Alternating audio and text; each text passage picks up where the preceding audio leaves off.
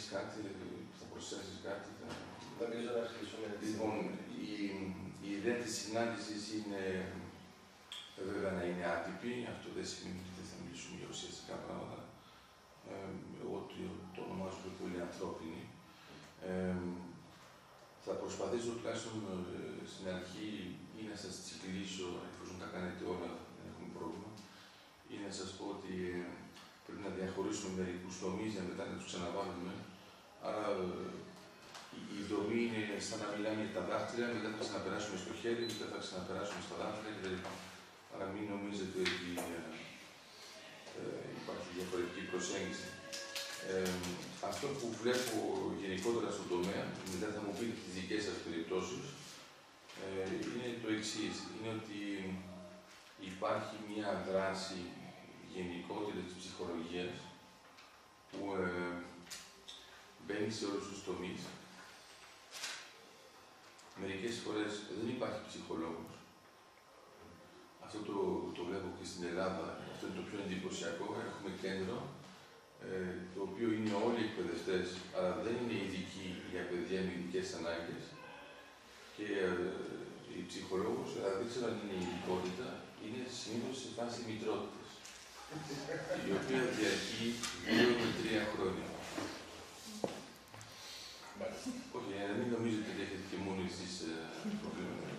Άρα πηγαίνεις λοιπόν σε ένα κέντρο και ρωτάς ποιος είναι ο ειδικός, ε, κοινωνιολόγος και ψυχολόγος ε, είναι απούσες και όλοι οι άλλοι κάνουν κάπως το μάθημα όπως μπορούν. Ε, και λέω, δεν έχετε... Άρα μετά έχουμε θέματα του τύπου δεν έχουν τη διάγνωση, δεν ξέρουν ακριβώς ποια είναι η περίπτωση, είναι απλώς παιδί με ειδικές ανάγκες. Και σιγά σιγά ο εκπαιδευτικός πρέπει να ανακαλύψει, με τον τροχό βέβαια, ε, τις ψυχολογικές παρατηρήσεις που έχουν γίνει, αλλά δεν τις έχει πια. Και βέβαια δεν έχουν δικαίωμα να φέρουν άλλον. Γιατί είναι, η έδρα είναι έδρα. Ναι, άρα, εντάξει. Γι' αυτό σας λέω ότι το έχουμε ζήσει αυτό. Άρα έχουμε ε, καλλιτέχνη, κυπουρό ε, και όλοι αυτοί δεν έχουν δει ποτέ παιδί με ειδικές ανάγκες. Και ξαφνικά είναι μια ομάδα που ασχολείται με το θέμα και κάνουν ό,τι μπορούν. Ε, αν νομίζετε ότι αυτό δεν είναι σε κρατικό φορέα, κάνετε λάθος. Δηλαδή είναι στο, στο καθαρά επίσημο δομημένο. Αλλά το πρόβλημα ε, για μας ποιο είναι, είναι ότι ε, υπάρχει η ψυχολογική περιοχή στον τομέα της εκπαίδευσης και μερικές φορές ε, δεν έχουμε τους αρμόδιους, που είναι οι πιο ειδικοί να πούν στους άλλους τι να κάνουν. Ε, και αυτό το βλέπω τώρα στον τομέα της ψυχολογίας, εφόσον έχουμε τουλάχιστον δύο ειδικούς. Έχουμε και το ανάποδο, που έχουμε πολύ καλούς ψυχολόγους και δεν έχουν ιδέα την εκπαίδευση. Θα μου πείτε πώς είναι δυνατόν. Ε, είναι δυνατόν γιατί δεν είναι υποτίθεται ένας συνδυασμός που είναι αυτονόητος. Το εκπαιδευτικό με το ψυχολογικό. Και γι' αυτό χάρηκα όταν είπες ότι για τον συνοδό και σε διάφορους τομείς. Ε, αυτό προκαλεί το εξής πρόβλημα. Είναι ότι ξαφνικά ε, ο εκπαιδευτικός νομίζει ότι πρέπει να είναι και ψυχολόγος και κοινωνιολόγος και αλλά βέβαια και βοηθητικό τέλεχο, ε, τα διάφορα. Και προσπαθούμε εμείς, τώρα σε τομέα πιο τεχνικό, να πούμε στον ε, εκπαιδευτικό ότι το τομέα του είναι η διδασκαλία. Και όχι άλλος τομέας. Δηλαδή δεν μπορεί να, να είναι ε, και σύμβουλος και για την οικογένεια και για την κοινωνία και για το παιδί και για τις σχέσεις και τις σχέσεις με τα άλλα παιδιά. Και ε, στο τέλος τι γίνεται; Είναι ότι δεν υπάρχει πια εκπαίδευση. Τώρα, ε, επειδή το, το χρησιμοποιήσεις ε, σαν έκφραση, ε, μερικές φορές η ψυχολογική προσέγγιση είναι ότι πρέπει να είναι καλά τα παιδιά. Ε, αν ξέραμε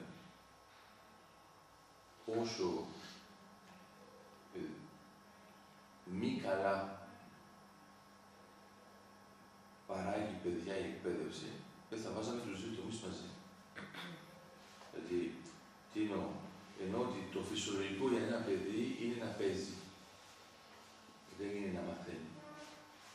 Δηλαδή, αν αφήσετε ένα παιδί μόνο του, θα αρχίσει να κάνει διάφορα πράγματα που είναι μια έρευνα του κόσμου με τον δικό του τρόπο, αλλά ε, το θέμα της μάθησης, της εκμάθησης, της διδασκαλίας δεν είναι τόσο φυσιολογικό. Άρα έχουμε μια σύγκρουση δομική που είναι από τη μία το ψυχολογικό που λέει πρέπει το παιδί να είναι καλά και από την άλλη το εκπαιδευτικό που λέει το παιδί πρέπει να μάθει κάτι. Όταν τα καταφέρουμε καλά, συμβιώνουν αυτά τα δύο και λέμε, ας πούμε, με το θέμα της αυτοεξυπηρέτησης, ότι μπορεί το παιδί αν έχει μάθει να αυτοεξυπηρετείται, σιγά σιγά να είναι και καλύτερα γιατί μπορεί να κάνει πράγματα που δεν έχει συνεχώς ανάγκη από βοήθεια. Ε, μπαίνει τώρα το θέμα και της βοήθειας. Πολύ συχνά ο εκπαιδευτικός θεωρεί ότι πρέπει να βοηθάει. Και ε, στο τέλος γίνεται βοηθός χωρίς εκπαίδευση. Ε, άμα οι άνθρωποι που λειτουργούν στο ΕΚΑΒ, έχετε το ανάλογο ΕΚΑΒ, ξέρετε, είναι η άμεση δράση στον τομέα του ασθενοφόρου. Άρα είναι σαν να ρωτάτε λοιπόν σε έναν ειδικό με τα ασθενοφόρα να κάνει μάθημα. Και κάνει το μάθημα μέσα στο αυτοκίνητο. Λίγο πριν το νοσοκομείο. Άρα τον βλέπετε τον άλλο να είναι σχεδόν τέζα και του ζητάτε το άλλο να κάνει μάθημα, α πούμε. Να κάνει μάθημα με ποια εργαλεία, σε ποια κατάσταση. Ε, η σύγκριση λοιπόν που προκαλείται από αυτόν τον συνδυασμό, το εκπαιδευτικό και το ψυχολογικό, ε, φαίνεται στη διάρκεια της μέρας. Δηλαδή, έχουμε εκπαιδευτικούς που αγχώνονται γιατί μέσα στην ημέρα δεν έχουν μάθει τίποτα. Δηλαδή έχουν κάνει μερικές προσπάθειες, αλλά δεν βγαίνει εκείνη τη μέρα. Έχουμε μετά τον ψυχολόγο που λέει δεν πειράζει την ημέρα, σημασία είναι σε βάθος χρόνου. Ε, όταν όμως ο εκπαιδευτικός σε βάθος χρόνου την ημέρα νιώθει την εντύπωση, δηλαδή έχει την εντύπωση ότι δεν κάνει τίποτα, και έρχεται η επόμενη μέρα και πάλι δεν κάνει τίποτα, και πάλι δεν κάνει τίποτα, αλλά εδώ ο ψυχολόγος σου λέει: Κοίτα, στο τρίμηνο ήταν καλό αυτό που έκανες. Ε, ξεχνάμε αυτό που τώρα θα το συνδυάσω, τη χαρά του εκπαιδευτικού. Δηλαδή ο εκπαιδευτικός, ε, ο γνήσιος δάσκαλος, όταν δεν βλέπει καμία εξέλιξη μέσα στη μέρα, έχει την εντύπωση ότι το κάνει τσάμπα. Και ε, έχει την τάση να αυτοαπαξιώνει τον εαυτό του, λέγοντας δεν τα κατάφερα να κάνω οτιδήποτε. Ε, ο ψυχολόγος, επειδή είναι πολύ περισσότερο σε φάση ήττας, και το λέω με την έννοια όπως είμαστε και εμείς στα μαθηματικά, ο μαθηματικός σε σχέση με τις επιστήμες είναι συνεχώς σε φάση ήττα. Δηλαδή δεν βγαίνει το θεώρημα, δεν αποδεικνύεται και ξαφνικά πετάγεται και μια ιδέα, το βρίσκει. Άμα το κοιτάζετε λοιπόν στα τρίμηνα το μαθηματικό, είναι τρεις μέρες που είναι χαρούμενος και όλες τις άλλες δεν έχει βρει τίποτα. Ε, αυτό λοιπόν του δίνει μια τεράστια δύναμη γιατί όταν μπαίνει σε ένα project με άλλους, ε, επαρκεί. Και είναι ακριβώ το πρόβλημα που έχει ο ψυχολόγος, χωρίς να έχει το πρόβλημα, είναι ότι είναι ικανός να αντέξει μια περίοδο μεγάλη έχοντας τρία αποτελέσματα. Ενώ ο εκπαιδευτικός θεωρεί ότι δεν είναι καλός δάσκαλος. Γιατί δεν έχει συνηθίσει από τον τομέα της εκπαίδευσης, ακόμα και με μαθήματα ειδικής αγωγής, να τρώει συνεχώς ήττα. Γιατί το κλασικό είναι ότι κάνω μερικές ασκήσεις, δεν τα καταφέρνω με την πρώτη, έχει την τρίτη το κάνω. Όταν δεν τα καταφέρνεις με τη δέκατη έβδομη, ε, μάλλον δεν ξέρω να το διαχειριστώ. Μπαίνει τώρα το πλαίσιο πρώτα απ' όλα της χαράς, δηλαδή πώς να διαχειριστούμε τη χαρά του εκπαιδευτικού και να μεταφέρει, θα έλεγα, ο ψυχολόγος ε, την μεταχαρά του ψυχολόγου.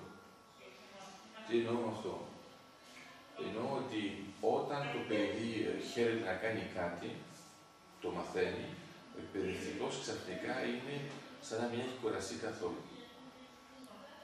Ενώ, ενώ κάνει την ίδια δουλειά, έχει κουραστεί με τον ίδιο τρόπο, αλλά στο τέλος λε, δηλαδή σήμερα, ξέρω εγώ, έδεσε τα κορδόνια του. Που σου είχε βγει ο πάτος 15 μέρες δεν γινόταν τίποτα.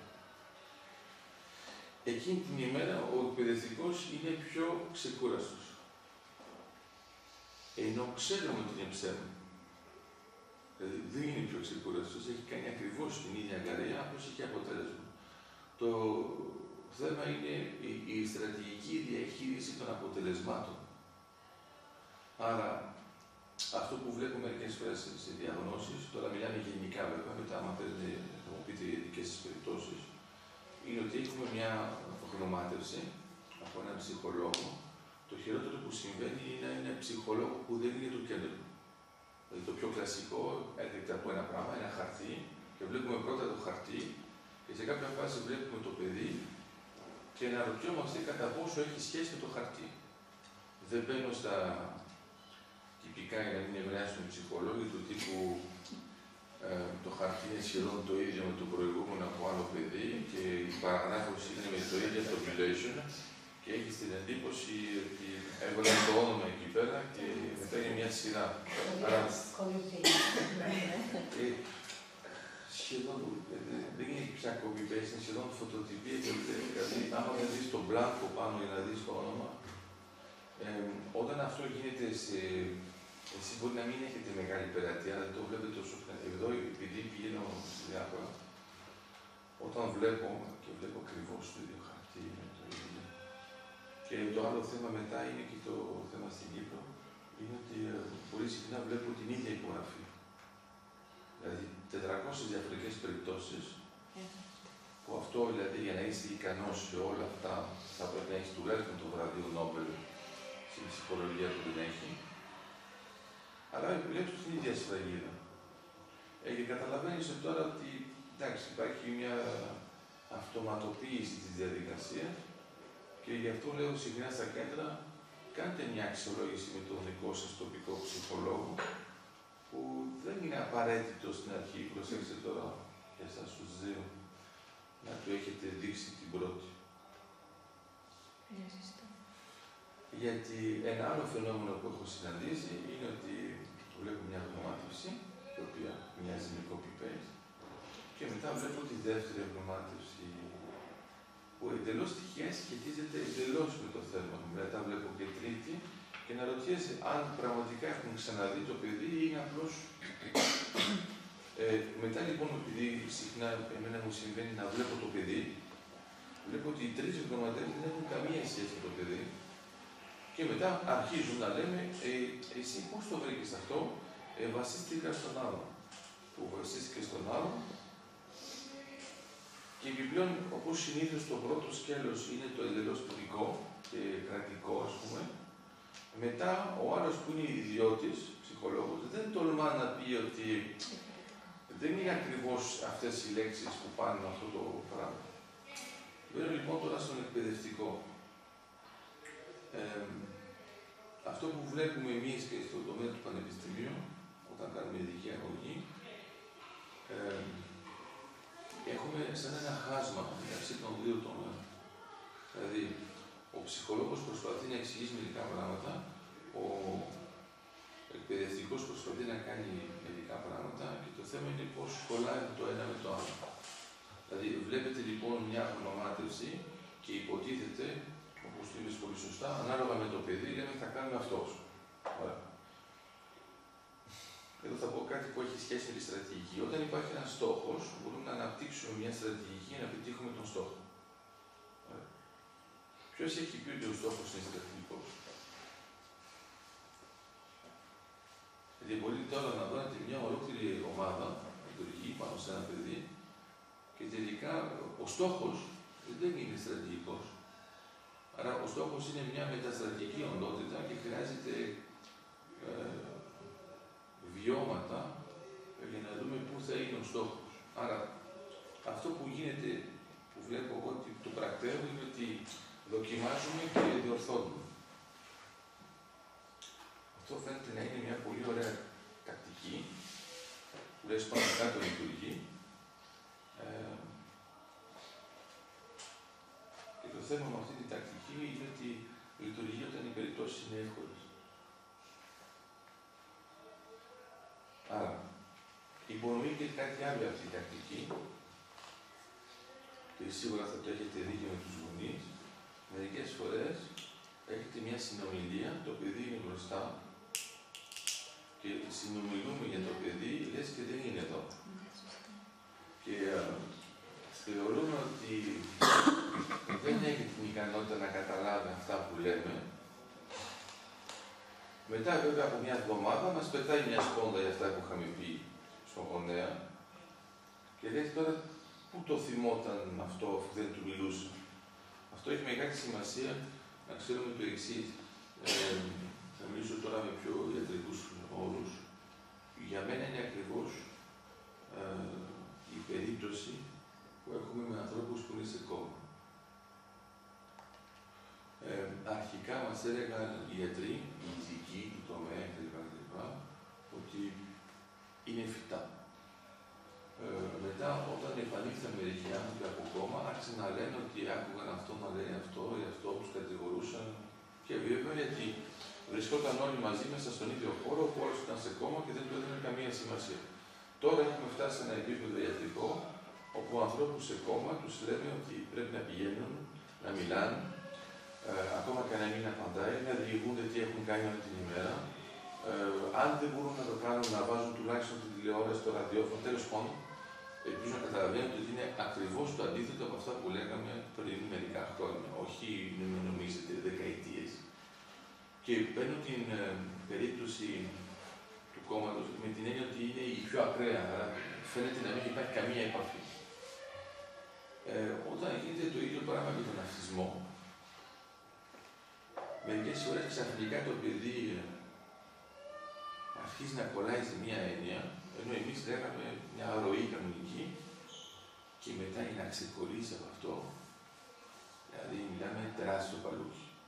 Τι εννοώ, εννοώ ότι το πείραμα δοκιμάζω, διορθώνω, η υπονοεί ότι διορθώνεται. Ναι. ένα παράδειγμα που χρησιμοποιώ για τους εκπαιδευτικούς και για τους φοιτητές, να σας δίνω ένα παράδειγμα πολύ απλό. Ε, σε κάποια φάση ε, έχουμε φοιτητές οι οποίοι είναι ειδικοί, να κάνουν ειδική αγωγή. Είναι μία φορά που βλέπουμε ένα παιδί με σύνδρομο Down και για μία εκπαιδευτική έξοδο πηγαίνουν σε άλλο μέρος και νόμιζαν ότι το άλλο παιδί που είδαν ήταν το ίδιο. Εντάξει. Επειδή είχε τα ίδια χαρακτηριστικά, νόμιζαν ότι ήταν ο ίδιος. Και όταν μετά μας εξηγούν ότι φαίνονταν να ήταν αυτός που έχει πάει εκεί. Ε, δεν είχαν συλλάβει πόσο μοιάζουν αυτές οι περιπτώσεις και πόσο ξυνίζουν με τις κλασικές περιπτώσεις. Άρα όταν το βλέπουν θεωρούν ότι είναι πιο πιθανό να είναι το ίδιο παιδί που έχει μετακινηθεί σε άλλη πόλη παρά να σκεφτούμε ότι υπάρχει και άλλος που να έχει τα ίδια χαρακτηριστικά. Τώρα δεν το λέω σε εκπαιδευτικούς κλασικούς, το λέω σε αυτούς που έχουν κάνει ειδική αγωγή. Καταλαβαίνετε μερικές φορές που τραβάμε τα μαλλιά μας, γιατί αυτοί υποτίθεται μετά θα μας βοηθήσουν να εξηγήσουμε στους άλλους εκπαιδευτικούς ότι ξέρεις, χρειάζεσαι μια βοήθεια μες στην τάξη και δεν μπορείς να τα βγάλεις πέρα κάνοντας το κλασικό το μάθημα. Αυτό το λέω ειδικά όταν μπαίνει δεύτερος εκπαιδευτικός μέσα σε μια κλασική τάξη. Τι εννοώ λοιπόν με αυτό το πρόβλημα. Είναι ότι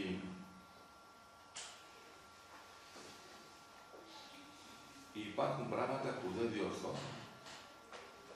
Ε, μπαίνω τώρα πιο πολύ στο θέμα της ψυχανάλυσης. Ε, στην ψυχανάλυση πάνω κάτω μας εξηγούν ότι σε βάθος χρόνου, που μπορεί να είναι μια δεκαετία, σχεδόν διορθώνονται. Και τώρα έχετε τον εκπαιδευτικό που πρέπει να κάνει ένα πράγμα σε ένα μήνα. Άρα, το παράδειγμα που χρησιμοποιώ εγώ είναι το σκάκι. Και είναι το εξής. Έχετε λοιπόν τον γονέα που μαθαίνει σκάκι στο παιδί του. Άρα ο γονέας ε, έχει μεταμφιαστεί σε εκπαιδευτικό. Και εφόσον ξέρω εγώ σκάκι, θα του μάθω το άλλο. Το πρώτο πράγμα που γίνεται είναι επειδή έχουν μια σχέση γονική, ε, το παιδί ακουμπάει τα κομμάτια παντού, ε, παίζει, διορθώνει. Μετά, όταν έχει λοιπόν τη σχέση πατέρα και παιδί ή μητέρα και παιδί, βλέπει ότι υπάρχει μια διαφορά. Ε, βγαίνει το στοργικό, το μητρικό, το πατρικό και χάνεται εντελώς το εκπαιδευτικό. Άρα, το πρώτο πράγμα που μαθαίνουμε σαν έναν μικρό σκακιστή, η μικρή σκακιστά, είναι ότι ακουμπάς, παίζεις. Άφησες, έπαιξες. Αυτό δεν έχει σχέση με το σκάκι ακόμα. Αυτός ο κανόνας που είναι τόσο απλός εκπαιδευτικά φαίνεται πάρα πολύ σκληρό και καταντάται να έχετε γονείς που να παίζουν σχεδόν την ίδια παρτίδα και να διορθώνουν συνεχώς τα λάθη του παιδιού και στο τέλος να φαίνεται ότι έχουν παίξει σχεδόν κανονικά. Άρα, δεν έχουν παίξει βέβαια ποτέ σκακιστική παρτίδα. Δεν ξέρει το παιδί τι είναι το σκάκι. Έχει το, την εντύπωση ο γονέας ότι έχει μάθει κάτι και όταν το παιδί θα πάει να παίξει σκάκι με κάποιον στις ηλικίες του, ε, και ο άλλος θα του πει ακούμπησες παίξ' το, θα πει ότι είναι άβολος. Γιατί δεν το έχουμε μάθει έναν βασικό κανόνα. Είναι το εξής είναι ότι δεν είναι αναστρέψιμη η κίνηση πάντα. Άρα, εγώ νομίζω ότι στο δικό μας τον τομέα πρέπει να σκεφτούμε ότι χρειάζεται πολύ σκέψη πριν κάνουμε μια κίνηση, έτσι ώστε να μην προκαλούμε περισσότερα προβλήματα που πηγαίνουν με τα καραμπόλα και μετά πρέπει να φέρουμε τον ειδικό σώσει την κατάσταση γιατί δεν έχει ξεφύγει. Λέω λοιπόν αυτό το μικρό παράδειγμα ότι είναι πάρα πολύ απλό να κάνετε το εξής. Γιατί οι γονείς επιτρέπουν τη διόρθωση της κίνησης, για πείτε. Μόνο τους βάζω και ασκήσεις. Άτυπε και ανθρώπινε. Γιατί είναι μερικοί από εσάς που είναι και, και σίγουρα οι γονείς, οι άλλοι που θα γίνουν σύντομα, όταν βέβαια, όταν βέβαια λέω σκάκι, θα μπορούσε να ήταν τάβλη, δεν έχει σημασία. Για να μην απογοητευτεί και να προχωρήσει ξανά να δοκιμάσει. Γιατί να απογοητευτεί από τι; Ότι απέτυχε. Ότι Έκαμε απέτυχε. λάθος. Και πώς θα φανεί ότι είναι λάθος;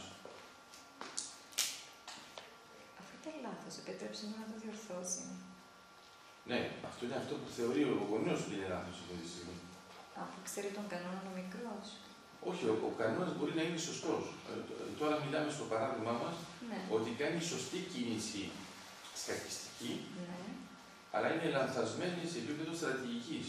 Δεν είναι ότι είναι, είναι ακριβώς το ίδιο με το, με το Α, δικό μας ότι τον είναι τομέα. Δεν λέμε ότι στρατηγική ας πούμε, ο λάθος. παιδευτικό χτυπάει το παιδί και είμαι εκτός διοντολογία.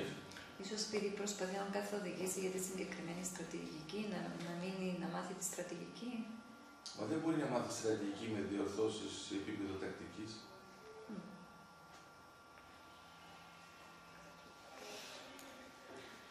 Όχι, το πρόβλημα είναι ότι το σκάκι είναι φτιαγμένο για να σκοτώσει τον αντίπαλο. Εντάξει. Ο- ο- οποιοδήποτε παίχνιο που είναι με δύο παίκτες και υπάρχει μόνο νίκη ή ήττα. Ωραία. Άρα ο γονιός μπαίνει στη διαδικασία ότι δεν είναι πολύ καλό το παιδί να χάνει. Άρα δεν πρέπει να βιώσει την ήττα. Επειδή δεν πρέπει να βιώσει την ήττα, Προσπαθεί να τον πείσει. ε, κάνουμε ό,τι μπορούμε ε, για να διορθώσουμε τις κινήσεις πριν. Πάνω κάτω είναι σαν να λέτε σε έναν άνθρωπο ότι δεν θα πεθάνει. Ε, άρα μπορεί να πάρετε ας πούμε έναν ιατρό που όλες οι κινήσεις που κάνει είναι ότι διορθώνει λάθη. Του τύπου είναι λίγο άρρωστος, το διορθώνω, το διορθώνω, αλλά κάνει ό,τι μπορεί για να αποφύγει να πεθάνει. Ε, είναι ηλίθιο, γιατί ξέρουμε ότι το τέλος θα είναι το ίδιο. Το θέμα είναι ότι πώς το διαχειριζόμαστε σε σχέση με αυτό, όχι ότι δεν υπάρχει.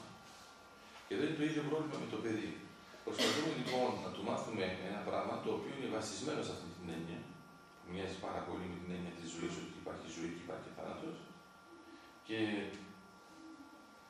για να του αποφύγουμε την ήττα, τις αποτυχίες αυτό, στο τέλος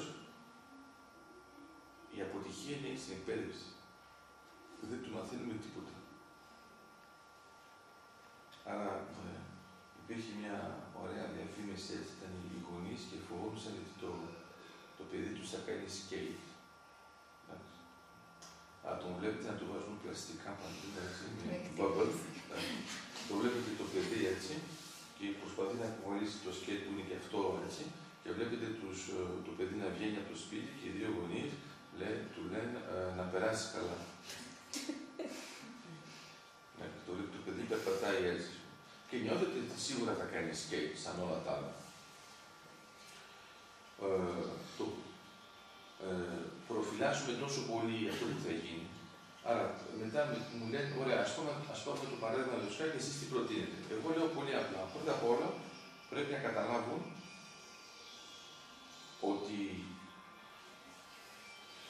τι είναι αυτός ο Δεν έχει ρόλο. Εντάξει. Ε, είναι αυτό με το ξέρεις. Όσο ψυχολόγο μετά ξέρω ότι δεν υπάρχει τέτοιο θέμα, αλλά δεν θα το ε, το πρώτο πράγμα που πρέπει να κάνουμε είναι πολύ απλό. Είναι το εξής. Είναι να εξηγήσετε ότι είναι αυτός ο κανόνας. Το ακουμπά, παίζεις, όσο το κάνεις έτσι, δεν έχει σημασία, το άφησες, δεν, δεν το ξανακουμπά. Αυτό δεν έχει σχέση καμία με το θέμα του θανάτου, της ήττας. Είναι ένας κανόνας. Τώρα μένουμε λοιπόν στο σκάκι. Όταν κάνουμε το μάθημα σε σκακιστικό επίπεδο, καθαρά χωρίς ψυχολογία, τίποτα, τα έχουμε αφήσει προς παρόν, α πάρουμε την ακαδημική υπόθεση. Ε, πρέπει να του μάθουμε όσο πιο γρήγορα γίνεται τι είναι η ήττα. Είναι ακριβώς το ανάποδο. Δηλαδή ξεκινάμε και να το ξέρετε όσοι δεν έχουν κάνει αυτό το πράγμα. Το πρώτο πράγμα που μαθαίνουμε είναι έχουμε ας πούμε έναν βασιλιά, βασιλιά και βασίλισσα. Άρα αυτός που έχει το βασιλιά είναι σίγουρο ότι δεν κερδίσει, δεν γίνεται. Και του μαθαίνουμε πώς να κάνει μάτι. Δηλαδή πώς να σκοτώσει γρήγορα τον άλλον. Γιατί το κάνουμε αυτό, Γιατί στην πραγματικότητα όλος ο στόχος είναι αυτό. Άρα το κάνουμε σαν παίγνιο, δεν μιλάμε ότι είναι μια ήττα, είναι απλώς μια άσκηση ότι ο βασιλιάς με τη βασίλισσα πρέπει να κερδίσουν πολύ γρήγορα έναν βασιλιά. Αυτό. Αυτό δεν έχει ενταχθεί σε πλαίσιο παρτίδας. Έτσι. Όταν θα κάνουμε διάφορες ασκήσεις τέτοιου τύπου που δεν έχουν σχέση με το σκαρπιστικό και θα φαίνονται ότι είναι ασήμαντες, μετά θα ενταχθούν σε μια κανονική παρτίδα. Τώρα θα μου πείτε, α, τώρα είναι τα προβλήματα. Δηλαδή πριν μας το έχετε βγάλει τόσο ξεκάθαρο, δηλαδή μαθαίνω στο παιδί να πιει νερό και πρώτα του μαθαίνω να ξεβουλώνει αυτό. Αλλά δεν του λέω να πιει νερό, να ξεμούνω. Μετά του μαθαίνω από εδώ να πηγαίνει εκεί. Μετά του μαθαίνω αυτό να το πιάνει. άμα δεν διαχωρίσω όλα αυτά, ο τελικός στόχος βέβαια είναι να πιει νερό. Αν στο ενδιάμεσο το κάνει έτσι, το χύνει, το κάνει, ε, λέτε εσείς είναι αποτυχία. Ο, ο στόχος δεν είναι αυτός. Λέω λοιπόν ότι αυτό έκανε το θέμα της στρατηγικής. Η στρατηγική είναι πρέπει να μάθει να πιει νερό.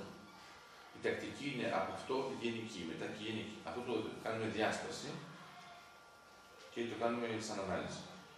Εδώ λοιπόν με το, με το σκάκι το μπαίνουμε στην παρτίδα. Το πρώτο πράγμα λοιπόν που θα σας πει ο γονέας θα είναι, τώρα ελπίζω να καταλαβαίνετε ότι κάνω τώρα τον εκπαιδευτικό στο σκάκι που είναι ο ψυχολόγος, με τον γονέα που είναι εκπαιδευτικός. Κάνω απλώς μεταφορά δομής. Έτσι μιλάω για εσάς χωρίς να μιλάω για εσάς, αλλά δεν σας ενοχλεί. Το πρώτο πράγμα που θα σου πει ο γονέας είναι ναι, αλλά άμα κάνει λάθος να τον διορθώσω, αφού θα χάσει. Και πρέπει να εξηγήσετε εκεί ότι δεν έχει σημασία ότι θα χάσει. Σημασία είναι αν θα ξαναπέξει. Άσε το θέμα. Γιατί μερικές φορές το έχουμε κάνει τόσο πολύ που έχουμε παιδιά που έχουν φοβία να παίξουν γιατί φοβούνται ότι θα χάσουν. Αλλά στο τέλος τους έχουμε μάθει ένα τεράστιο παιχνίδι και λένε, εγώ κέρδισα μία φορά, μια χαρά δεν ξαναπέζω. Ε, τότε ποιος ήταν ο στόχος, δεν είναι η ζωή; Άρα, αυτό που κάνουμε είναι το εξής. Ε, κερδίζουμε όσο πιο γρήγορα το παιδί γίνεται. Χρονικά, σαν να είμαστε με επαγγελματίες. Θα μου πείτε είναι πολύ σκληρό αφού χάνει. Αυτό που προσπαθούμε μετά να του πούμε είναι ότι δεν έχει καμία σημασία, πάμε στην επόμενη. Άρα τώρα βλέπετε λοιπόν, αντί να παίζετε μία παρτίδα που την έχετε διορθώσει 15.000 φορές και στο τέλος να πείτε ότι έπαιξες καλά, κάνουμε 50.000 παρτίδες. Οι οποίες οι περισσότερες είναι με ήττα Αλλά μετά το παιδί δεν δίνει σημασία σε αυτό. Δίνει σημασία στο πώς ξαναπέζω, πώς το ξαναδιαχειρίζουμε και πώς δεν κάνω αυτό που έκανα προηγουμένως. Άμα συνεχώς του λέμε ότι διορθώνεται, ε, καταντάμε στο τέλο να λέμε ότι όλα διορθώνονται. Και έχει ένα ωραίο παράδειγμα, αν θέλετε, με τα παιδιά, τώρα το μεταφέρω σε έναν τομέα, είναι η γόμα, το σβηστήρι. Ναι. Ε, αυτό, άμα πέσετε σε παιδί που έχει τάσεις ε, τελειομανίας, θα δείτε ότι περισσότερο σβήνει παραγράφει. Που λες, μα δεν είναι δυνατόν στο τέλος να το κάνει αυτό. Λοιπόν, ε, το βλέπουμε και υποτίθεται στη συμβατική εκπαίδευση, ε, το βλέπουμε πολύ με τα κοριτσάκια. Δηλαδή πρέπει να είναι τέλειο. Αλλά τέλειο γιατί βέβαια το αγοράκι έχει την τάση να κάνει ούτως ή άλλως μια μουτζούρα. Αλλά σε κάποια φάση συνηθίζει τη μουτζούρα, σου λέει εντάξει. Το κοριτσάκι έχει μια τάση να τα καταφέρνει καλά, αλλά θέλει να είναι τέλεια. Κατά συνέπεια, φτάνετε στο επίπεδο Δηλαδή το κοριτσάκι σα γράφει δύο γραμμές μόνο και έχει σβήσει 400 φορές. Αυτό που κάνουμε που είναι το ανάλογο από αυτό που είπα προηγουμένως είναι παίρνουμε τη γόμα και δεν έχουμε δικαίωμα να την ξαναχρησιμοποιήσουμε.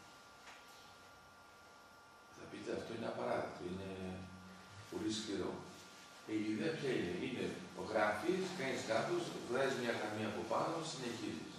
Και όταν λοιπόν ο στόχος μας εκπαιδευτικός είναι η κόλλα και είναι πεντακάθαρη, ε, με πολλά παιδιά θα, τα, θα τους αποβάλουμε τόσο πολύ αυτό το πράγμα και θα είναι του τύπου ε, που έχουμε και στην ανάγνωση. Μόλις κάνουν ένα λάθος, τους ξαναπαίρνουν. Θα τους ξαναπούν τη λέξη ξανά, ξανά, ξανά, ξανά. ξανά. Ε, μετά από μία ώρα έχουμε διαβάσει μισή σελίδα.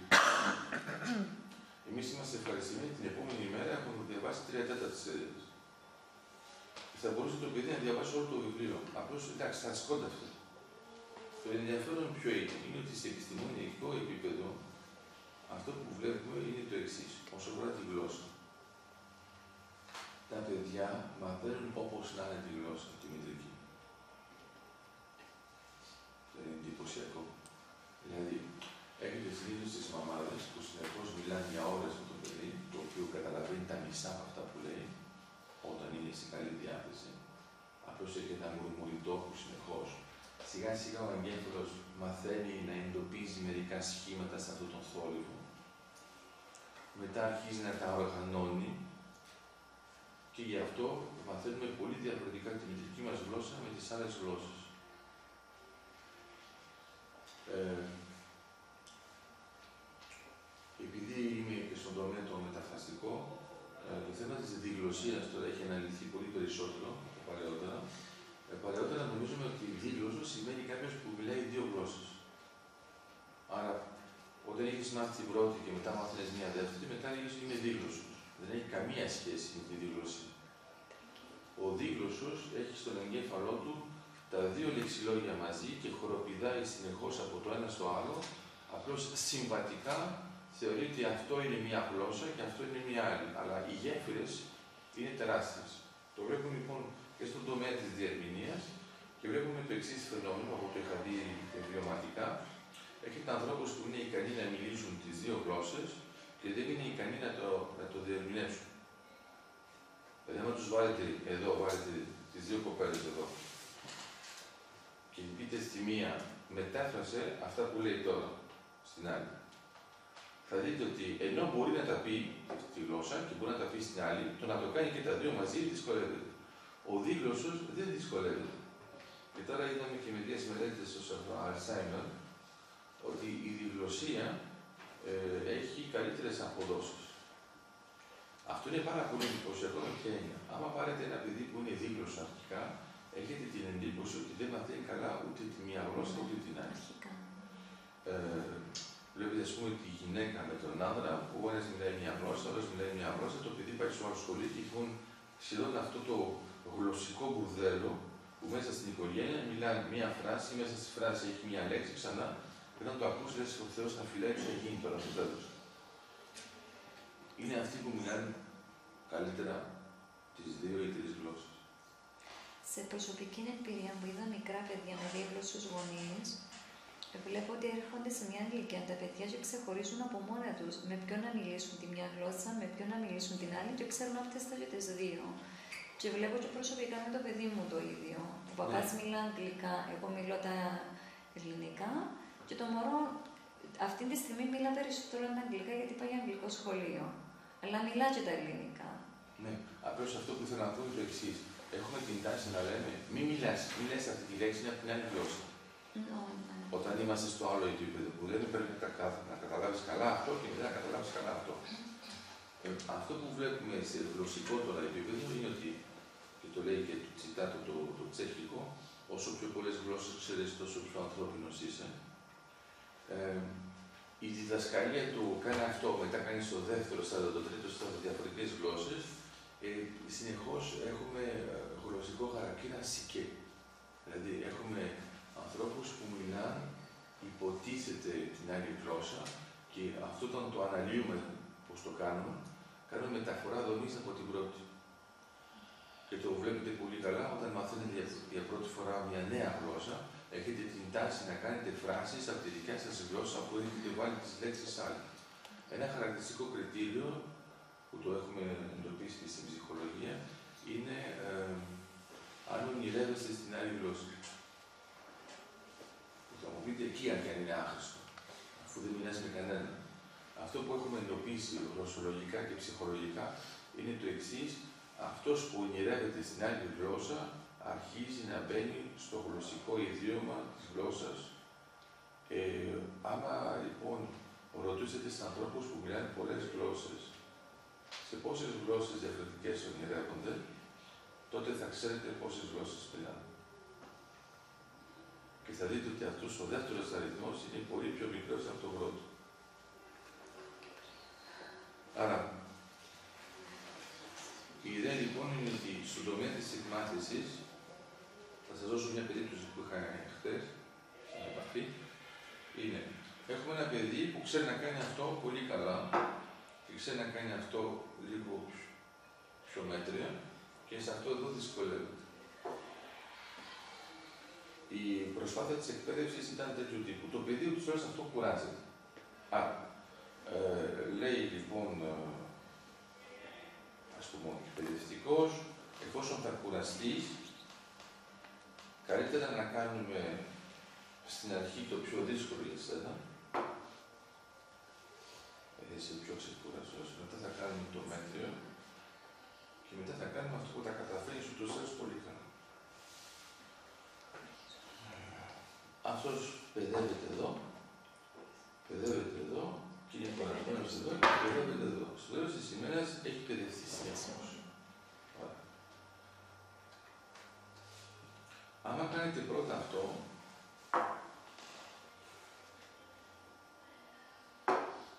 αυτός θα έχει χαρά. Γιατί τα βρήκε εύκολα, το κατάφερε, το Άρα όταν έρχεται και έχει λυθεί αυτό, έρχεται σε αυτόν εδώ, δεν έρχεται χωρίς φόρα, έρχεται με φόρα. Αυτό δεν σημαίνει ότι θα τα καταφέρει, αλλά έχει μεγάλε πιθανότητες να τα καταφέρει από αυτόν που έχει έρθει από κούραση. Και εδώ λοιπόν εμπλέκεται το πρόβλημα της δύναμης της χαράς και εμπλέκεται το δικός σας το τομέας που σε κάποια φάση λε, κοίτα, στο τέλος όμως το παιδί να είναι και χαρούμενο, όχι να είναι απλώς ότι του βγήκε ο πάτος και δεν θέλει πια να κάνει.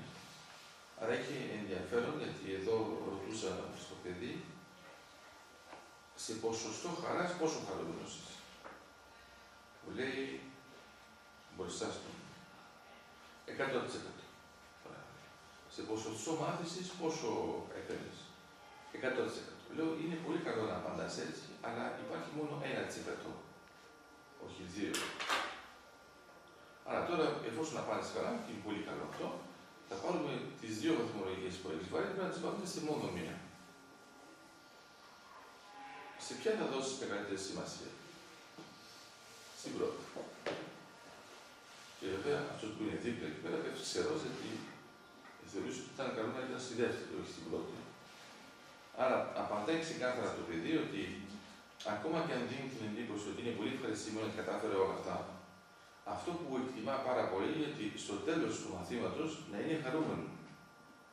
και μπορεί να είναι ο στόχος λίγο πιο κάτω. Νομίζουμε εμείς. Άρα, έχουμε ένα ωραίο φαινόμενο και για το εξής το κάνουμε τα χέρια. Λέμε, ε, εγώ το μαθητή μου, το παιδί μου, δεν με πειράζει αν δεν είναι, αν δεν είναι τέλειος. Το λένε όλοι αυτό. Αυτό που με πειράζει είναι ότι άμα έχει αυτές τις δυνατότητες, να μην πηγαίνει εδώ. Άρα, λες, ωραία, μέχρι πού πάει. Ας πούμε ότι πάει εδώ. Α, αυτό προκαλεί απαγοήτευση. Και λες, ωραία. Αυτό λοιπόν τι είναι;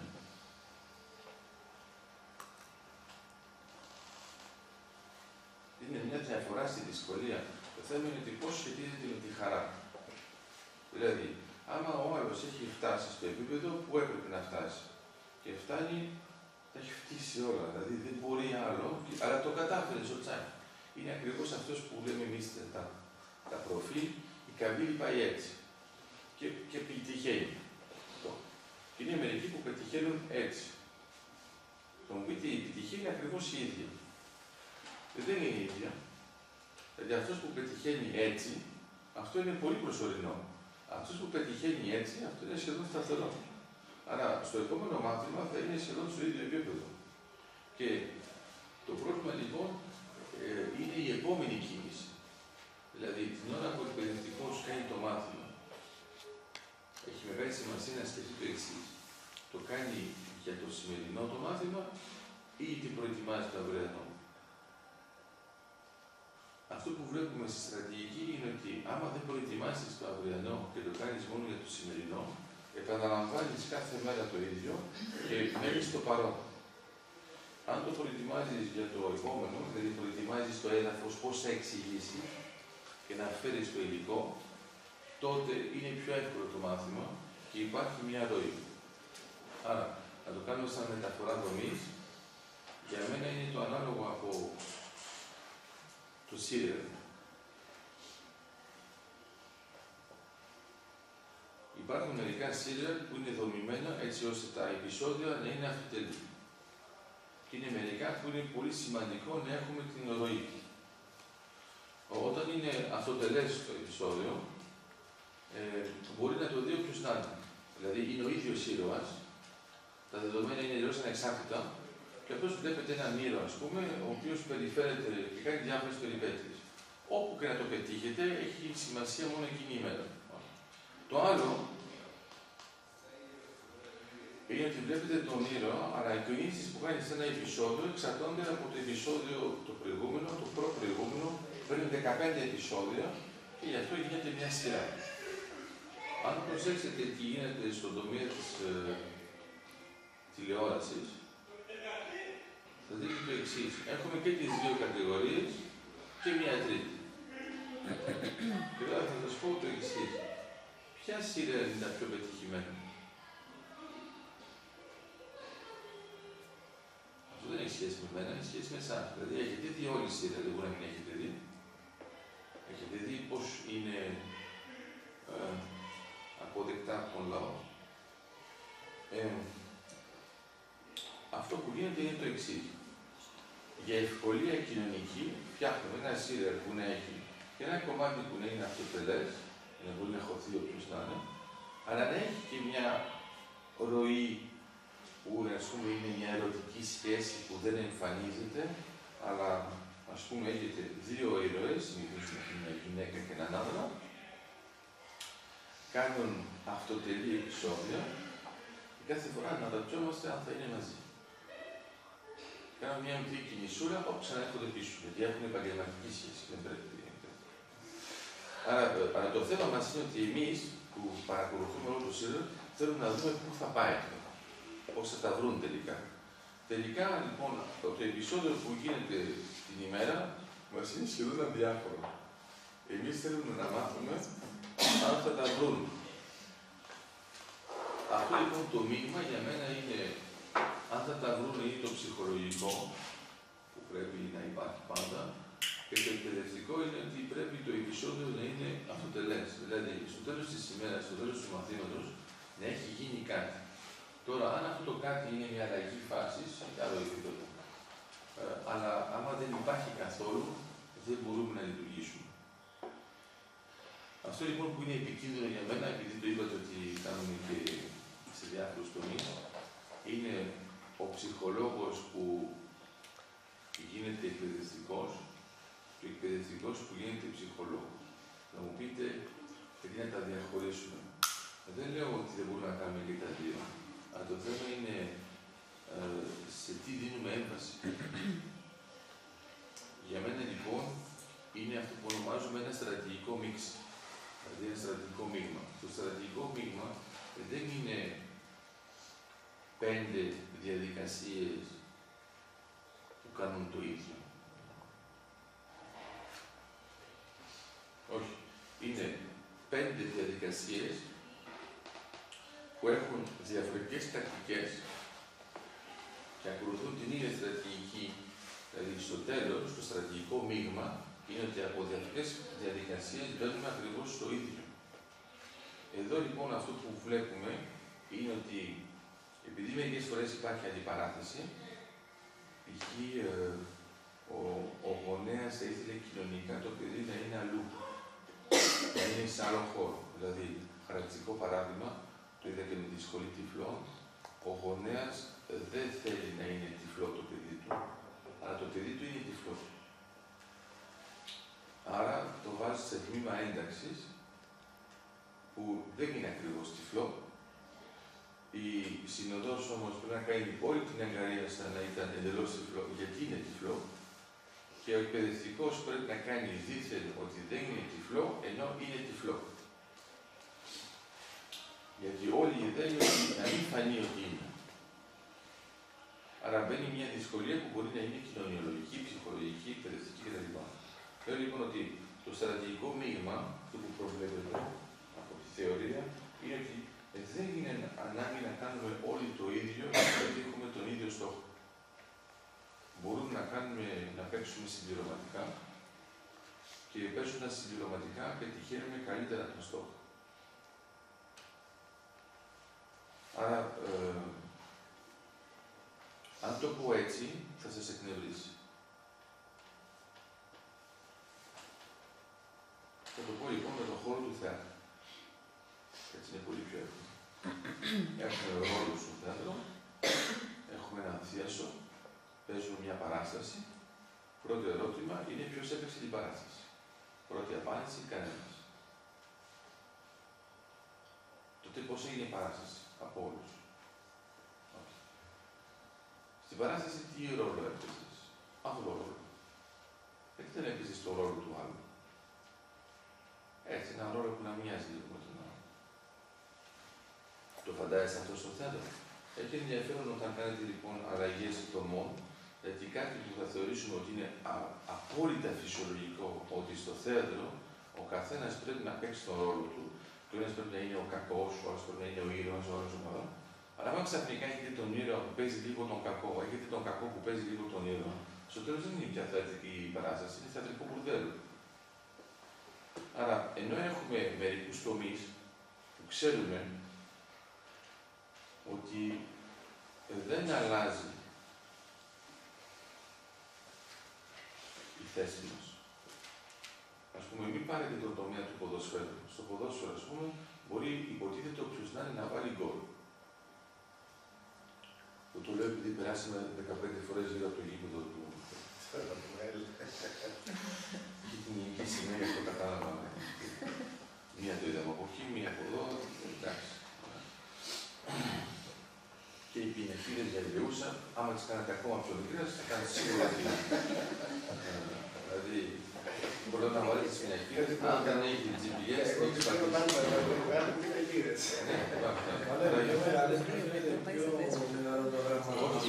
Όχι, εμείς, αν θέλετε, αυτό που λένε οι Αμερικανοί, όταν έχεις καρχή, διάβαζε τις πινακίδες. Ε, λέω λοιπόν ότι κανένας δεν σκέφτεται ποτέ στο θέατρο να κάνει πως ο ποδόσφαιρο θα βάλει γκολ όπως άλλο. Γιατί αυτό που βλέπετε είναι ότι συνήθως είναι ο επιθετικό που θα βάλει γκολ, γιατί είναι πιο κοντά. Ο τερματοφύλακας για να βάλει γκολ είναι σπανιότατο ή θα πρέπει να είναι ας πούμε πέναντι. Ωραία. Αυτό δεν σημαίνει ότι το, το απαγορεύουμε. Αλλά προσέξτε, Στο θέατρο είναι ο καθένας έχει το ρόλο του. Κανένας στο θέατρο δεν μπορεί να παίξει τη θεατρική παράσταση μόνος του. Αυτό δεν σημαίνει ότι δεν παίζει με τον άλλο. Και τώρα παίρνουμε στο πρόβλημα το ομαδικό, που δυστυχώς, ειδικά στον τομέα μας, είναι λίγο δύσκολο. Ε, ο καθένας προσπαθεί να κάνει το καλύτερο για αυτό που κάνει στον τομέα του.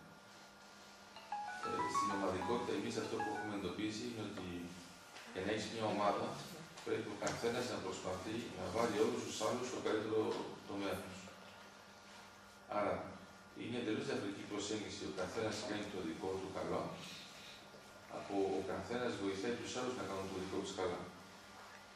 Αυτό το βλέπουμε συνεχώς στο θέατρο. Δηλαδή, το λέμε λοιπόν μερικέ φορέ, σερβίρουμε μια τάκα. Δηλαδή, ξέρουμε ότι ο άλλος έχει την ωραία τάκα εκείνη τη στιγμή και εσύ είσαι ο κομπάρσος. Άμα δεν του τη σερβίρεις καλά ή κάνεις ε, λάθος αυτό που θα πεις, το καλό δεν γίνεται και ας πούμε το κοινό δεν γελάει. Αυτός έχει πει ακριβώς τι φτάσει που έπρεπε να πει. Αλλά εμείς δεν το προσφέραμε το πλαίσιο. Για μένα λοιπόν, ε, και θα κλείσω έτσι, ε, ο στόχος της δεν είναι ο καθένας να είναι καλός. Ο στόχος για μένα στην ομάδα είναι οι άλλοι να είναι καλοί. Αλλά αν το σκεφτείτε τώρα συμμετρικά, αν ο καθένας έχει στόχο να είναι καλοί όλοι οι άλλοι, αυτή η ομάδα είναι πολύ πιο ισχυρή από το σύνολο όπου ο καθένας προσπαθεί να είναι καλός. Έτσι δεν έχει δέσιμο αυτή η ομάδα. Είναι απλώς ξεκάθαρα άτομα, ο καθένα στον τομέα του και αν θέλετε, αυτό δεν το ονομάζω θίασο, το ονομάζω πανεπιστήμιο. Το πανεπιστήμιο είναι δομημένο, λες και είναι φτιαγμένο όταν φτιάχνει ένα τμήμα και ένα τμήμα δίπλα να μην επικοινωνούν ποτέ. Είναι πολύ πιο εύκολο να επικοινωνείς με άλλο πανεπιστήμιο από το ίδιο τμήμα παρά από το πανεπιστήμιο το ίδιο να είσαι στο διπλανό το τμήμα. Το πιο εντυπωσιακό είναι να είσαστε στο ίδιο κτίριο. Και είναι αυτοί που είναι στο δεύτερο όροφο δεν έχουν καμία σχέση με τον πρώτο όροφο. Και λες, τότε γιατί το λέτε πανεπιστήμιο; Για η μεγάλη διαφορά που βλέπω εγώ στο πανεπιστήμιο με τα ερευνητικά κέντρα είναι το ερευνητικό κέντρο δεν μπορείς ποτέ να ξεχωρίσεις ακριβώς ποιος είναι πού. Το πανεπιστήμιο ξέρεις ακριβώς ποιος είναι πού. Είναι ότι σε αυτό το τμήμα, αν το βάλεις στο διπλανό, δεν έχει ιδέα τι κάνουν. Όχι τι κάνουν εκπαιδευτικά. Ποιο είναι το θέμα τους. Τι κάνουν. Είναι άλλος χώρος. Για μένα λοιπόν, ε, στον τομέα της έρευνας, η έρευνα παράγεται σχεδόν αποκλειστικά από τα ερευνητικά κέντρα. Ε, η έρευνα παρουσιάζεται σχεδόν αποκλειστικά ότι γίνεται στο Πανεπιστήμιο. Ενώ στο Πανεπιστήμιο αυτό που γίνεται είναι απλώς ένα ε, σύνολο ειδικοτήτων και μετά ξαφνικά, για όσους από εσάς έχουν κάνει και διάφορα μάστερ, θα σας εξηγούν ότι είναι καλό να ξέρεις από το πτυχίο του άλλου, αλλά βέβαια τέσσερα χρόνια σου έλεγαν να ασχολείσαι ποτέ με αυτό. Και μετά ξαφνικά, στο πέμπτο έτος και έκτο, σου λένε διακρατικότητα, αυτό. Και αυτό γιατί δεν μας το μάθατε, ας πούμε, από την αρχή. Και είναι ακριβώς έτσι. Κλείνουμε. Είναι το θέμα της διγλωσία τώρα. Αντί να μάθουμε από την αρχή μια διακλαδικότητα, μπορούμε να έχουμε έναν κύριο κορμό και να παίζουμε σε διάφορους τομείς, το κάνουμε κάθετο και ξαφνικά όταν φτάνουμε σε αυτό το επίπεδο παντού. Και ξαφνικά λοιπόν έχετε ανθρώπους στο μάστερ που χάνονται γιατί δεν ξέρουν προς τα πού να πάνε. Μετά λοιπόν ξαναγίνεται το άλλο, τους σηκώνεται πάλι να κάνουν το διδακτορικό που ξαναπέφτουν στο ίδιο πρόβλημα από το κάτω, που στο μάστερ τους είπαν διακλαδικό, αλλά κοίτα, θα κάνεις όμως ένα διδακτορικό σε αυτό το τομέα. Σε αυτό το τμήμα, σε αυτή τη σχολή. Και ξαναμπαίνουν στο ίδιο πράγμα. Μετά βγαίνουν λοιπόν και λες, γιατί να μην είχαν ας πούμε, ένα διδακτορικό διακλαδικό. Γιατί να μην έχουν μάθει τόσα χρόνια τη διακλαδικότητα. Και λέω λοιπόν για τους εκπαιδευτικούς. Πολλοί εκπαιδευτικοί στον τομέα της ειδικής αγωγής έχουν έρθει από σπόντα. Δηλαδή, ήταν εκπαιδευτικοί κλασικά και στο λέω με τα ελληνικά δεδομένα για να μην σας πρίξω. Δεν μπορείς να μπεις, τον πίνακα ειδικής αγωγής, κάνεις και δύο-τρία σεμινάρια να φαίνεται ότι είσαι ειδικής αγωγής. Άρα έχεις κάνει τέσσερα χρόνια, πέντε χρόνια που δεν σου έχουν μάθει ποτέ τι είναι ειδική αγωγή. Ξαφνικά σου λένε κάνε κάτι με τους τροφιλούς, νοηματική, αυτό, αυτό και έχεις γίνει ειδικός σου. Υποτίθεται λοιπόν ότι έχεις καταφέρει να μεταφέρεις όλα αυτά που έχεις μάθει για οποιονδήποτε, να τα μεταφέρεις στον τομέα της ειδικής αγωγής. Δεν γίνεται. Γιατί μετά ξαφνικά έρχεται ο άλλο ειδικό και σου λέει: Το παιδί είναι έτσι και δεν είναι έτσι. Τι κάνει. Και ο μεγάλος κατάλογος από όλα αυτά που σου έχουν μάθει είναι ωραία. Το βάλαμε στη μέρα και τώρα έχεις το παλούκι. Και είναι ξαφνικά ξανά όλα από την αρχή. Πώς θα δω το παιδί, ποιος θα είναι ο στόχος, πώς θα το κάνω. Και άμα το πάρετε, γιατί κάνουμε μερικές φορές τέτοιες ασκήσεις στο Πανεπιστήμιο, ε, τους βάζω, υποτίθεται, ε, case τότε. Άρα περιγράφω το γεγονός, έχουμε κάνει πρώτο μάθημα και λέω, βλέπετε αυτό. Δηλαδή, ε, θυμάσαι Βίκη, τον Βασίλη. Έχετε ένα παιδί που δεν μιλάει καθόλου και έχει το πρόσωπό του έτσι κολλημένο πάνω στο τζάμι. Δεν σας κάνω την αρχή γιατί δεν είστε προετοιμασμένοι, μετά μπορεί να κουβεντιάσετε. Και λέω λοιπόν στους φοιτητέ, αυτό είναι τα δεδομένα, δεν έχει τίποτα άλλο, είναι έτσι. Τι βλέπετε. Εκεί αρχίζουν να λένε διάφορα σενάρια, μερικές φορές είναι ο Θεός να φυλάει. Βέβαια, εσάς, τα περισσότερα τα εντάσσουν στον τομέα της ψυχολογίας. Δεν μπορούν να σκεφτούν τίποτα άλλο, γιατί τους έχουν τόσο πολύ πει ότι προσέξτε τι θα πείτε, πώς θα το πείτε, θα το κάνετε, που στο τέλο λένε ε, θα έχει κάποιο ψυχολογικό πρόβλημα. Το παράδειγμα αυτό που σας λέω, το Βασίλη, είναι ζωντανό παράδειγμα. Ο Βασίλης είχε ένα ελάττωμα πολύ απλό, είναι ότι δεν μπορεί το κορμί του να καθίσει όρθιο. Okay. Άρα, είχαν ερμηνεύσει οι εκπαιδευτοί ότι περίμενε τη μάνα του. Ο Βασίλης όταν τον έβαλε σε μια καρέκλα, το πρώτο πράγμα που έκανε έσπανε την καρέκλα μέχρι να πιάσει τείχο. Δεν εφόσον έπιανε τείχο, πά, καθόταν έτσι. Δηλαδή βέβαια δεν του είχαν βάλει ποτέ πολυθρόνα. Όταν λοιπόν κοίταζε το τζάμι, μετά είχαν ερμηνεύσει ή εκπαιδευτεί, όχι φοιτητές τώρα, οι αληθινοί τώρα, ότι ε, θέλει να βγει έξω.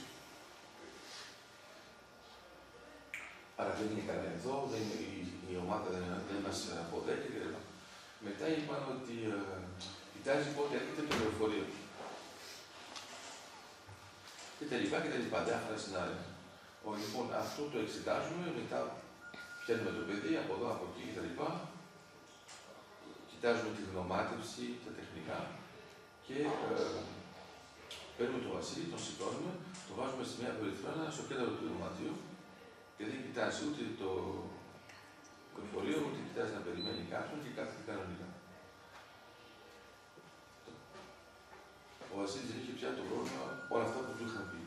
Όλα αυτά που είχαν πει ήταν πιο πολύ προβολές προσωπικές. Το τι θα έκαναν αυτοί αν ήταν πάνω σε μια καρέκλα. Κοιτάξτε, παιδιά, το δεχόμαστε. Αυτό μπορεί να συμβεί. Αλλά δεν είναι καλό να δούμε αν η σπονδυλική στήλη του Βασίλου να τον κρατήσει όρθιο. Βλέπεις ένα πράγμα που έχει ο ένα ένα δεκανίκι και λες έχει δεκανίκι γιατί ξαφνικά έχει αγαπήσει το ξύλο. Και είναι πάρα πολύ σημαντική του η σχέση με το ξύλο και πρέπει να είναι πάνω κοντά σε ξύλο. Και μετά του λέει: Γιατί έχεις σπασμένο το πόδι, ε, απλώς δεν είναι κοντά στο ξύλο. Άρα, λέω λοιπόν ότι αν ο εκπαιδευτικός προσπαθεί ξαφνικά να γίνει και ψυχολόγος, ενώ δεν έχει καμία εμπειρία και δεν έχει καμία εκπαίδευση, αρχίζει να λέει διάφορες μπουρδες. Όταν ο ψυχολόγος έχει εκπαιδευτική αντίληψη, ενώ δεν έχει κάνει ποτέ ούτε παιδαγωγικά ούτε διδασκαλία, πάλι λέει και αυτός μπουρδες. Είναι καλό να συνομιλούν και οι δύο μαζί. Όταν συνομιλούν μαζί, βρίσκουν πολλά πράγματα πολύ πιο εύκολα. Αυτό όμως δεν σημαίνει ότι ο ένας πηγαίνει και συνεχώς πάνω στον άλλον και αυτό είναι που ήθελα να πω, είναι ότι ε, αν στο θέατρο και οι δύο πούν τις δύο ατάκες ταυτόχρονα, δεν ακούμε ούτε τον ένα ούτε τον άλλο. Το θέατρο είναι φτιαγμένο και δεν είναι καθόλου τυχαίο, ελπίζω να το έχετε εντοπίσει, ότι έχουμε θεραπείες με θέατρο. Δεν έχει καμία σχέση με θεραπεία με τραγούδι. Ενώ έχει σχέση η θεραπεία με χοροδία. Είναι μερικοί που νομίζουν ότι είναι πολύ καλό, θα παίξει θέατρο γιατί του αρέσει, θα εκφραστεί. Αυτό εδώ είναι φούσκες που λέμε γιατί νομίζουν ότι είναι σοβαρό. Αυτό που έχει σημασία στο θέατρο είναι ότι πώς θα σταθεί στη σχέση με τους άλλους, αν θα περιμένει να μιλήσει ο άλλος. Ε, μιλήσαμε πρόσφατα με τη, με τη Βίκη για τον Ανδρέα Μποτσέλη. Καθόλου θέατρο θα μου πείτε, δεν έχει καμία σχέση. Είναι απλώς τραγουδιστής. Όταν τον βλέπετε τον Ανδρέα Μποτσέλη θα πείτε τραγουδάει απλώς. Ναι, όταν θα δείτε όμως αυτά που έχει γράψει στην αυτοβιογραφία του, θα δείτε ότι ε, είναι χρονομετρεμένα στο δευτερόλεπτο ποιος μετακινείται πού πάνω στη σκηνή. Γιατί επειδή δεν τους βλέπει, ε, ξεχνάμε εμείς ότι δεν τραγουδάει ποτέ μόνος του και υπάρχουν όλοι οι άνθρωποι που κάνουν διάφορα γύρω. Άρα, αυτό που εξηγεί ο ίδιος είναι ότι είναι όλα χρονομετρημένα και ξέρουμε ότι αυτός θα κάνει τρία βήματα εκεί αυτό. Όταν τα έχει όλα αυτά στο μυαλό του, μετά ασχολείται μόνο με το τραγούδι. Άμα λοιπόν βάλετε κάποιον τυφλό να τραγουδάει και ξαφνικά εσείς κάνετε διάφορα παράξενα γύρω του, εμείς ξαφνιαστείτε να χάσει το ρυθμό. Τι θέλω να πω; Αυτό που θα δούμε εμείς ως κοινό, επειδή δεν είμαστε του τομέα, είναι ότι κάποιος τραγουδάει μόνος του. Αυτό που θα δει αυτός που είναι μέσα στα παρασκήνια είναι ότι υπάρχει ολόκληρη ομάδα που είναι συντονισμένη σε ένα πράγμα που είναι εντελώς αόρατο, γιατί αφορά έναν τυφλό.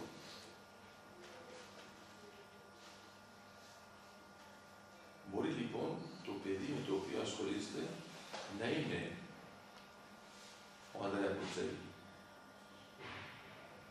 Και να λέτε σημασία έχει να τραγουδήσει.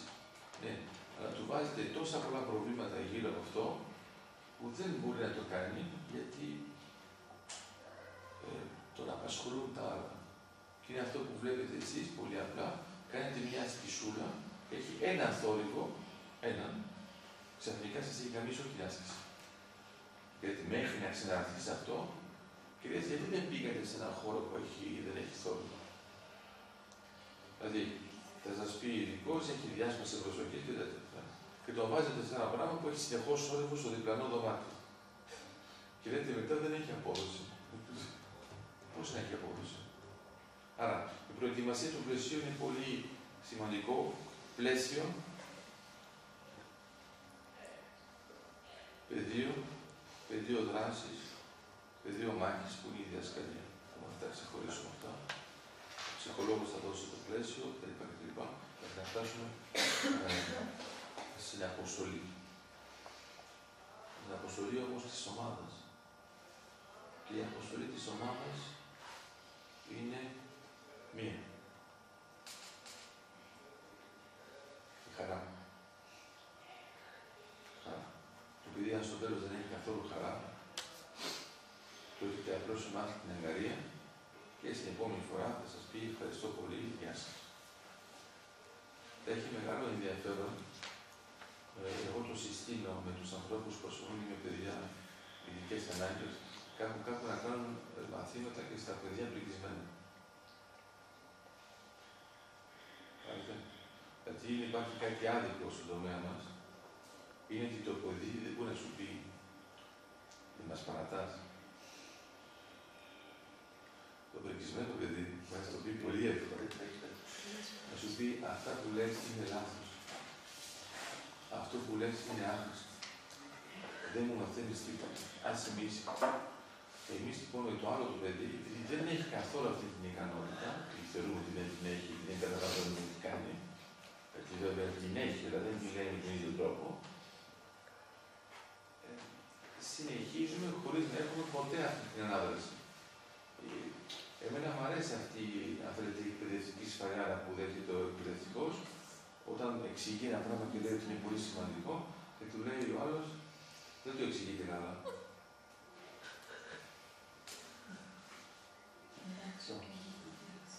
Άντρε, έχετε ένα ωραίο που κάνει μια πολύ. Εμένα μου αρέσει να το κάνω αυτό που σας έλεγα. Έχετε ένα ωραίο που σας κάνει μια, μια διάλεξη, μια slide, πετάγονται από εκεί, από εδώ, Έχετε, ακούτε ξαφνικά έναν ειδικό που σας κάνει μια ερώτηση. Το λέω ότι τον δεν έχει ιδέα Ξαφνικά όλα αυτά τα slide, τα ωραία και τα τέτοια, μεταραίουν προσθέσει σε μία ερώτηση από ένα πρικισμένο άτομο το οποίο λέει πολύ ωραία αυτά, τα εφαρμόζεται κάπου. Εμείς μερικές φορές λοιπόν είναι αυτό που έλεγα στην αρχή με το κόμμα, θεωρούμε ότι το υποκείμενο είναι πλέον αντικείμενο. Και το πρόβλημα είναι όταν ξαφνικά το αντικείμενο συμπεριφέρεται σαν υποκείμενο. Και εκεί έρχονται.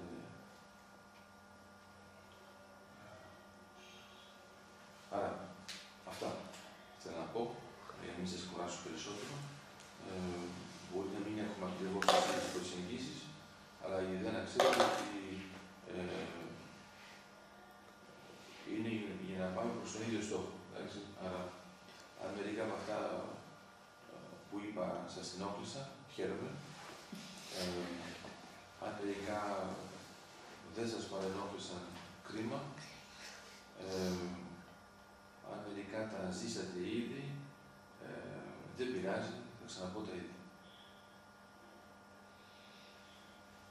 Γιατί η ιδέα δεν είναι να είμαστε μόνο ευχάριστοι μεταξύ μας, είναι ότι σε κάποια φάση να σας έρθει το μας ε, δεν ακούσαμε το παιδί, να έχετε κάποιον ε, σαν αυτό, σαν αυτή, σαν εμένα και να νιώθετε ότι ε, τώρα δεν θα μου έλεγε κάτι ο άλλος, που, το οποίο βέβαια διαφωνούσα και ήταν ε, βλακίες αυτά που έλεγε, αλλά την ώρα που το παιδί σας, σας παράγει αυτό το πράγμα, λες, «Οχ, φαίνεται να είναι η περίπτωση που λέγαμε».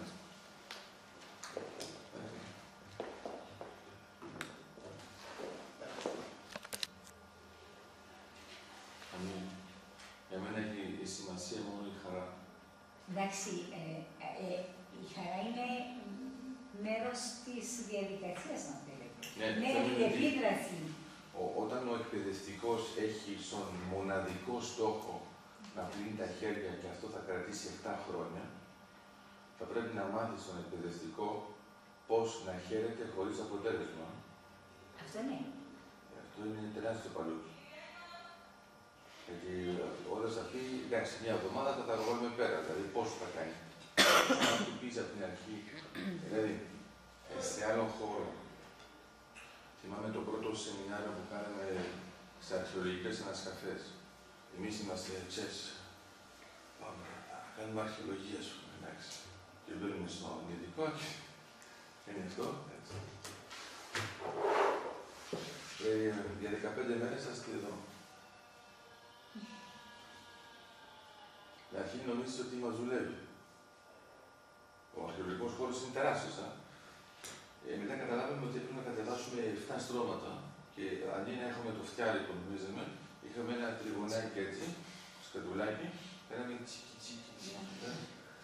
Και μετά προς τις 10 μέρες λέγαμε, δεν θα τελειώσουμε.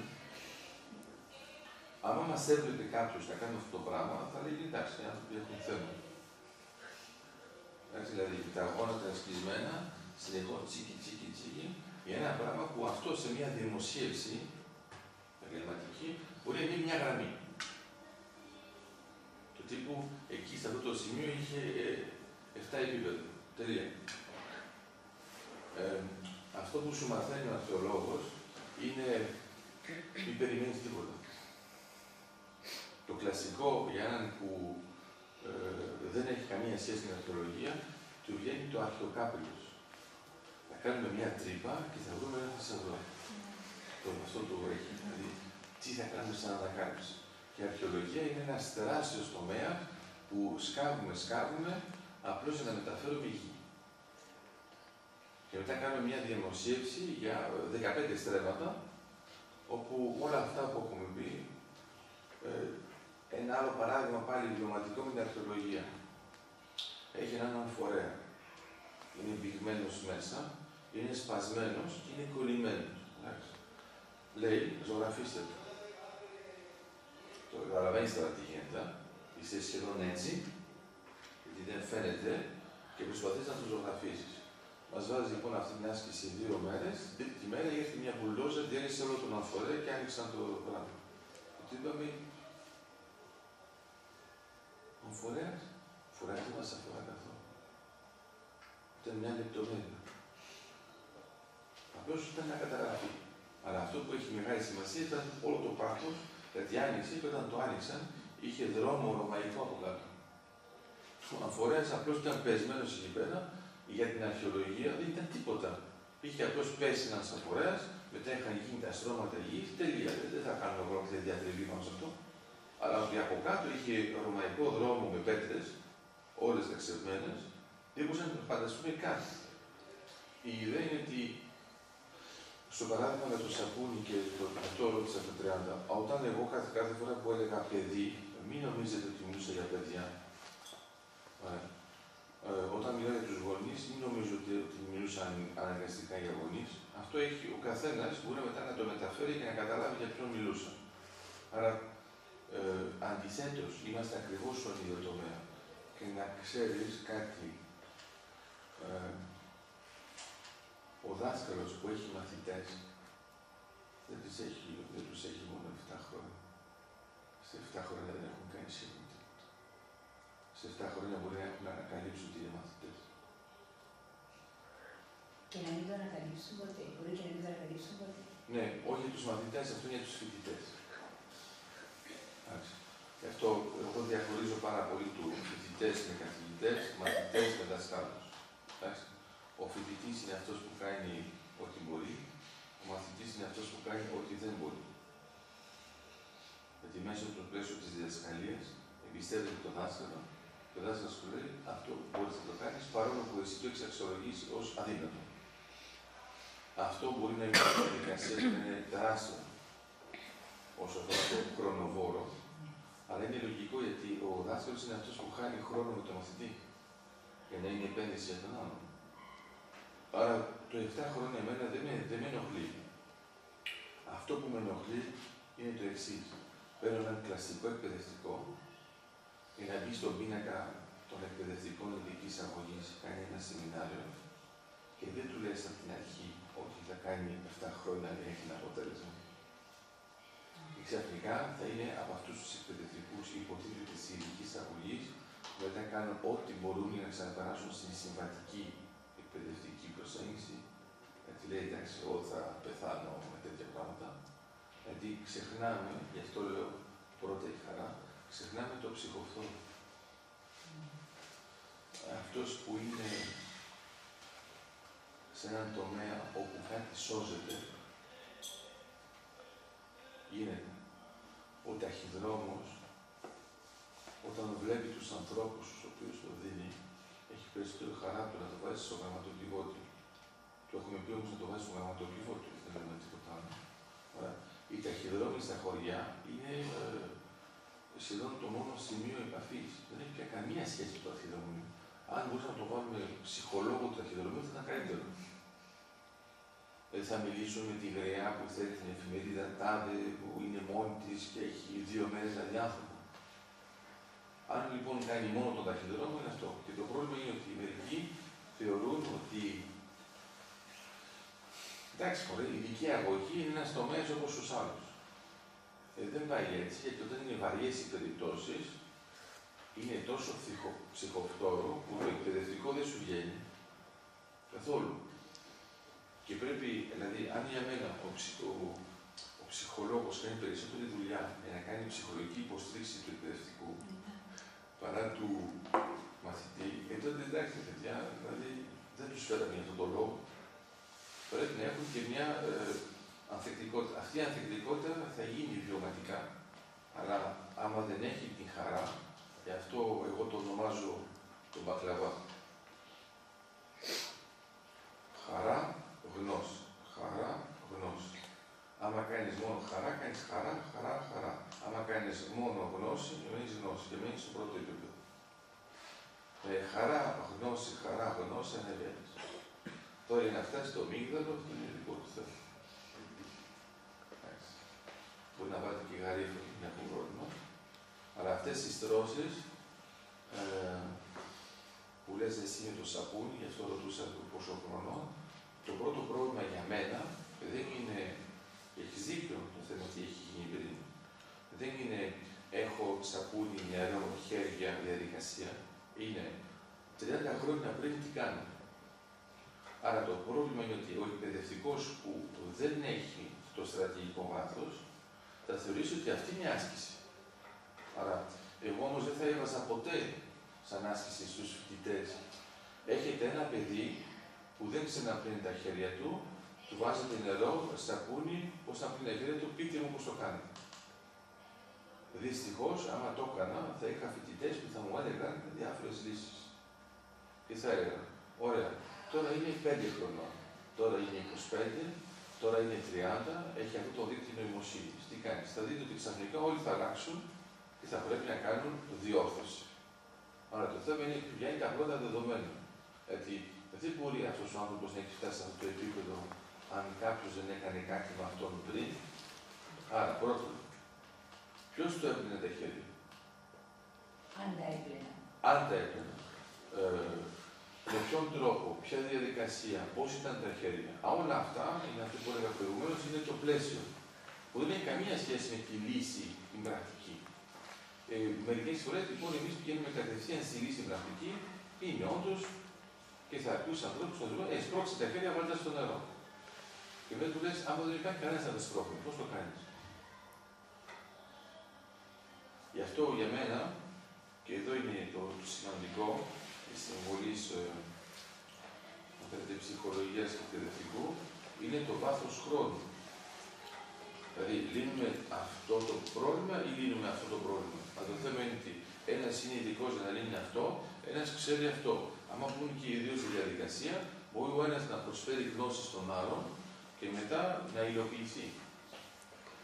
Γιατί μπορεί ο ψυχολόγος να ξέρει όλα αυτά τα πράγματα, αλλά δεν έχει βάλει ποτέ νερό σε ένα ποτήρι ή δεν έχει το ανάλογο νερό, ή δεν έχει βάλει ποτέ κάποιον να πλύνει τα χέρια με το πρακτικό επίπεδο. Γιατί αυτό μετά μου θυμίζει η προσέγγιση που έχουν οι άνθρωποι με τα σκυλιά. Λες στο σκυλί, άμα το φοβάσαι, το νιώθει αυτό, αυτό. Όταν μια άλλη είναι φουριτσάρα, άμα δεν της πεις ότι ξέρεις, όταν υδρώνεις από το άγχος, το σκυλί το μυρίζει. Άρα, έχεις ανθρώπους που πηγαίνουν έτσι και λένε χαρούμενο, προσπαθούν να κάνει, ενώ το, το, το σκυλί εντοπίζει ότι δεν έχει καμία σχέση με αυτή την εικόνα που προβάλλει. Και σου λέει, εγώ είμαι προστατευμένο. Τσακ, ναι, στο χέρι. Γιατί μετάγωσε, αφού βλέπει ότι φοβάσαι.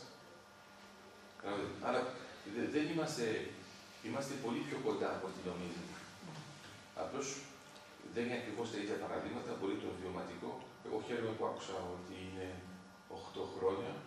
Ε, είναι σημαντικό να αρχίζεις από το χάος, να θέσει τον κόσμο και στην έννοια της ομάδας.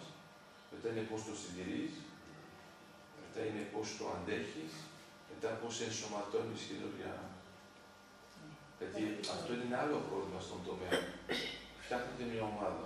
Και έχετε, ποιος είναι ο πιο νέος εδώ, δηλαδή εννοώ όχι ηλικιακά, ο πιο πρόσφατος.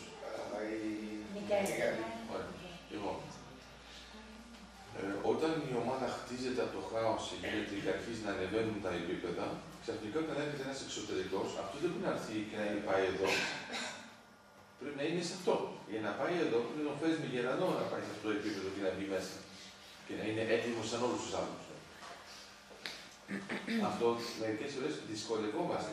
Και το ξαναλέω με το παράδειγμα του θεάτρου. Έχετε έναν θείο σου που είναι καλά στημένος και ξαφνικά παίρνει ένα νέο ηθοποιό. Ο νέος ηθοποιός δεν έχει τις ίδιες ικανότητες. Πρέπει να έχει πολύ πιο εξελιγμένες ικανότητες για να μπει σε έναν θείο σου που παίζει χρόνια μαζί. Ενώ οι άλλοι θεωρούν ότι εντάξει, πώς το λένε οι δικοί μου, είναι φυσιολογικό.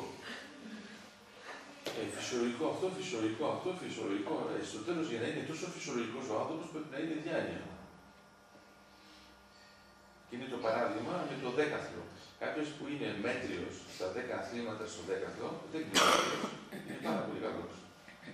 Γιατί κάποιος που είναι μέτριος στα 10 αθλήματα θα είναι άσυλο. Ε, γιατί όταν έχετε αθλήματα που συγκρούονται το ένα με το άλλο, όταν πρέπει και να κάνεις άλμα εις ύψος και να πετάς σφαίρα, ε, το σωματότυπο δεν μπορεί να τα κάνει όλα μαζί, αλλά έχει και μερικές τάσεις. Αν πάρετε λοιπόν ένα μέτριο αντικειμενικά, θα είναι άθλιο σχεδόν σε όλα τα αθλήματα. Όταν κάποιος είναι άθλιος σε όλα, που σημαίνει ότι είναι γύρω πάνω κάτω, ε, είναι μέτριος με την έννοια παίρνει 10 στα 20, το να πάρετε 10 στα 20 σε 10 αθλήματα που συγκρούονται, δεν είστε καθόλου στο 10 στα 20. Τα βλέπετε με τα ειδικά τεστ που κάνουμε μερικές φορές, που έχουμε τα διάφορα, τώρα παίρνει μόνο το μέσο όρο. Μέσο όρο δεν είναι μόνο αυτό, έχει άλλε τάσει. Ε, αυτό στην ενσωμάτωση ενός νέου προσώπου είναι τεράστιο θέμα.